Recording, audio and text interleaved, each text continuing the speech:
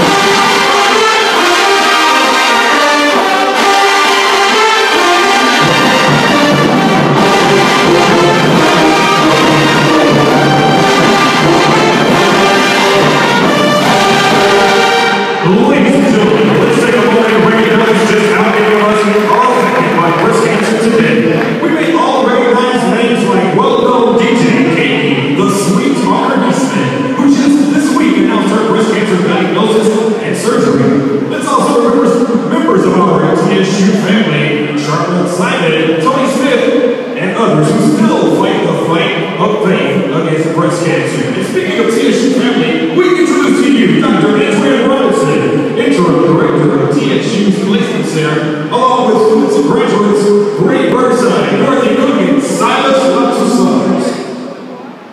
Good evening, TSU family. I know there's not a woman here or any man who truly loves a woman that's not aware of the threat breast cancer poses to our loved ones.